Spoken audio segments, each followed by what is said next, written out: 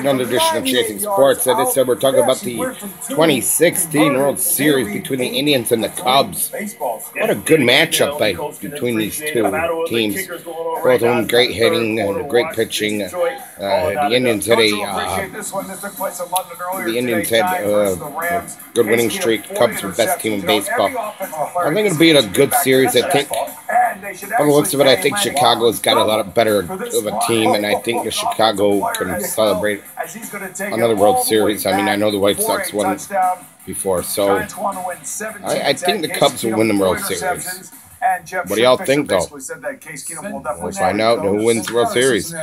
Indians and Cubs, 2016 World Series. Big play right